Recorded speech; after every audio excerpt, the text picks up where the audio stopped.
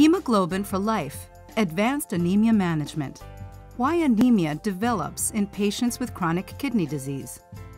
Module 3 Absolute Iron Deficiency.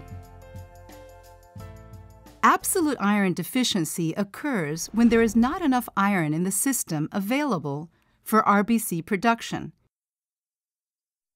including iron stored in the RES and liver. Absolute iron deficiency is characterized by TSAT levels of less than 20% and ferritin levels of less than 200 nanograms per milliliter.